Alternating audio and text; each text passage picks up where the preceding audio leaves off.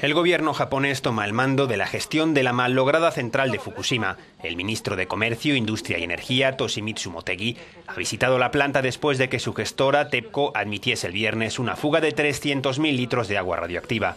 Ha anunciado la creación de un grupo gubernamental para encargarse de la limpieza y la llegada de expertos extranjeros, tras criticar duramente a los actuales responsables. Dejamos que TEPCO se encargase del problema de gestionar el agua contaminada y lo han hecho poco a poco solucionando los problemas según surgían. Pero a partir de ahora el gobierno está al mando.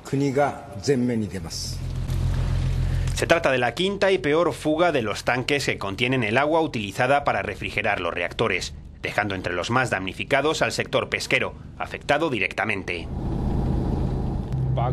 Está claro que la planta necesita reparaciones, pero los responsables están reaccionando muy tarde. Les pedimos que no viertan agua contaminada y es lo que han hecho. Van un paso por detrás y por eso no podemos confiar en ellos.